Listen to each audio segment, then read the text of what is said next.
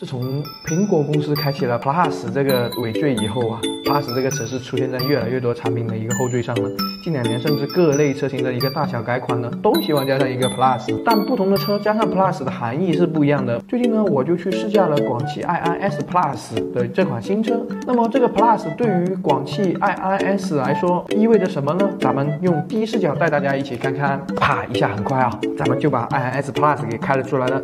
首先看到这车最抢眼的可能是这个猛男粉的车漆颜色了，这是 iiS Plus 新加入的两款车漆颜色之一啊，官方称之为冰硅粉。官方表示灵感来源是源自于玫瑰星云，提取了充满星空诗意的冰硅粉作为一个车身配色，是专为时尚女性打造的。嗯，看的这些官图，不难发现，确实是。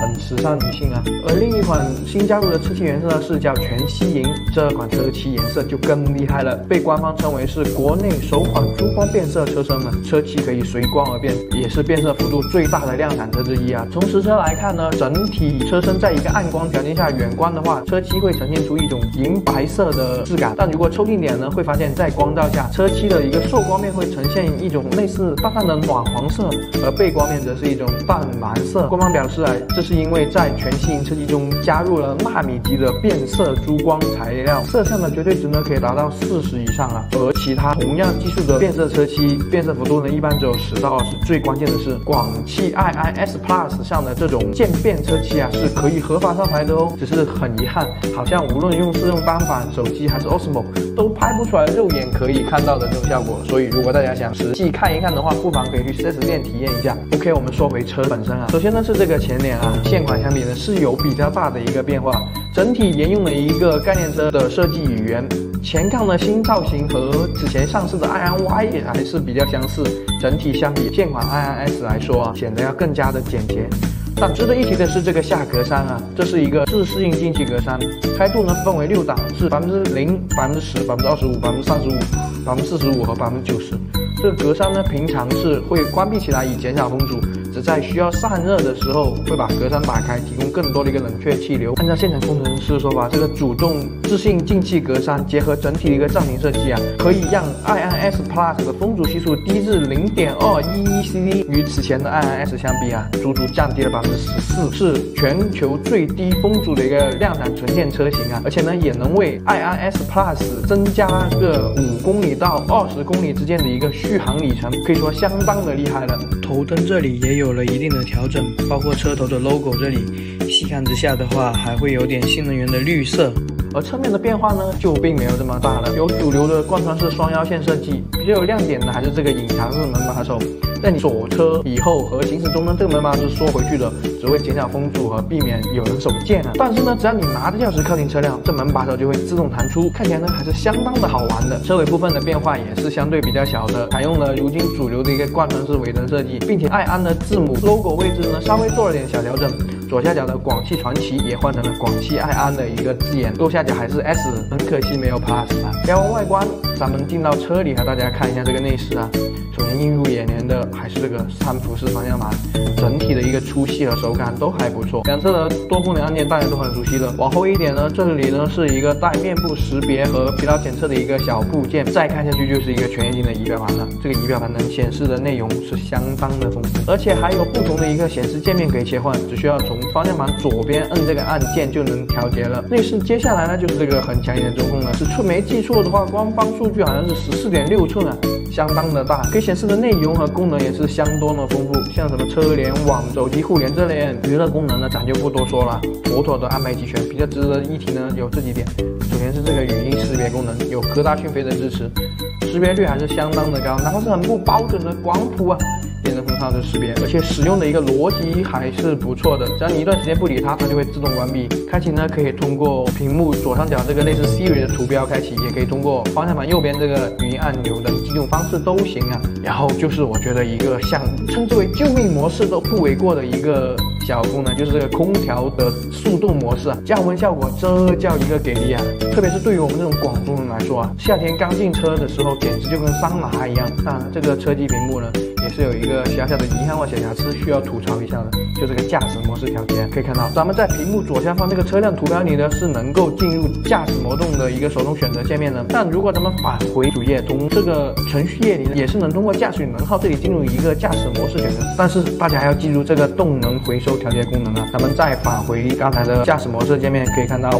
其实内容还是蛮丰富的。像什么阿迪狗的正驾驶辅助功能的一个开启和关闭也是在这，而且呢有四种模式可选，除了常规的一个节能模式、舒适模式和运动模式外，还有这个模式，这是电动车上特有的一个踏板模式啊。动能模式呢也被强制性的只能选择高。表面上来看，这个驾驶模式直接选择就好了，好像也没有什么问题，是不是？但问题就出在这了，因为你在驾驶模式选择这，居然不能调节一个动能回收的力度，只能返回驾驶与能耗这，再重新去调节一个驾驶回收力度。这我就很不理解了，明明一个界面能解决问题，为什么需要在两个界面之间反复切换呢？还有这个自动泊车功能呢，也是值得一提的。这主要有两个比较好用的地方，首先是一个哨兵模式，像在广州这种天气，就像女朋友的心情一样，说变就变的城市，前一秒可能还在艳阳高照，但后一秒呢就会大雨倾盆了。这个哨兵模式呢，就可以在我们停车后又忘了关车窗的时，就能在这种情况下派上用场了。它通过车内后视镜后方的一个传感器，在检测到下雨，并且我们停车没有关窗的情况下，就会自动的帮我们升窗，可以很好的避免在车里养鱼的这么一个尴尬情况啊。其次呢，就是。自动泊车的功能，开启这个功能以后，咱们只需要开车经过停车位，让车子检测到可以停车的地方，咱们就能下车锁车一条龙，然后通过手机 APP 一键停车了。而且请注意，这个停车位不管是侧方位还是倒库，哪怕是没有清晰的一个停车线，只要其中一边有东西可以作为一个参考就可以了。这对于新手司机以及遇到一些停车不好开车门下车的情况下，就非常的实用了。OK，聊完了前排，咱们来聊一下后。后排啊，i s Plus 相比 i s 的一个尺寸更大，空间表现呢自然是会更好一些的。我身高一七一，体重七十四 kg，调整了前排后，坐进后排可以看到腿部空间还是相当的不错的。而中间的坐垫虽然有点凸起，但总的来说还是比较软。地台中央有凸起，但不高，长度和宽度也足够放下我四十一码的脚，加上这靠背和头枕也算比较软。理论上来说啊，哪怕是满载三人的情况下，整体的一个舒适性呢也是相当不错的。而且还有这个全景大天窗啊，呃不对。这个应该叫天幕才对，也能带来一个比较不错的通透感。只是这个没有横梁的全景天幕呢，会导致车辆的一个后梁移动，因此在后排坐的比较直的时候，头部多多少少还是有点少头发。对于一个身高比较高的人来说，可能会有顶头。就采用瘫坐的一个姿势呢，会比较舒服，毕竟后排坐垫也足够的长嘛。此外，这里要插播一则冷知识，就是这块中间没有横梁的全景大天幕啊，官方车面积达到了一点九平米，并号称是全球最大的全景。变色天幕，全景变色天幕什么意思？顾名思义就是可以变色嘛。官方资料显示，这块全景天幕采用了全球首发的第四代柔性电致变色技术啊，防晒效果堪比阿耐晒，甚至比波音飞机和法拉利都厉害。紫外线的隔绝率达到了百分之九十九点九，并且全范围的一个变化时间呢小于每平米两分钟。主播比较遗憾的是，我开的这辆是试驾车，并没有体验到这款全景变色天幕的一个厉害之处啊。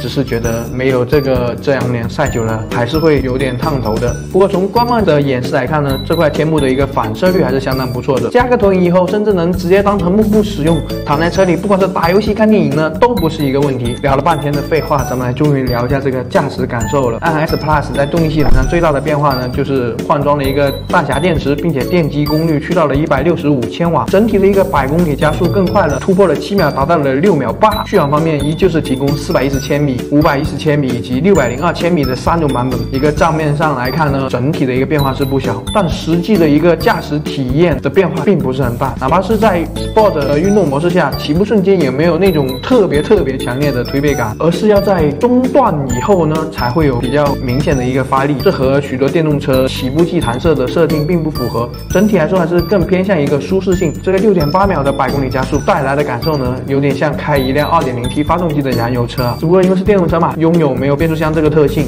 所以整个加速的过程很平顺，并且底盘的一个质感呢也变得比旧款更运动了一些，开起来对路面的一个感知呢也会更强烈一点。而且前面也说了，INS Plus 是有多种驾驶模式可选的，只是作用于电机的一个输出，对转向的一个力度基本是没有任何改变的。因此你在不同的模式下开起来，区别只在于你电机输出以及动能回收之间的一个不同而已。不过这种设定也是足够的舒服，尤其是在城市。车道路下，只要你开着一个 normal 模式，把动能回收力度调到低或中，那么开起来是相当的舒服。总的来说，和 iiS 相比，这次体验的 iiS Plus 虽然是试装车，但无论是外观设计、智能座舱等方方面面，确实是有了一个很大的提升。以现在2021年的一个标准来看，这个 iiS Plus 它依旧是有能力成为自主品牌主流纯电车型的一个选择。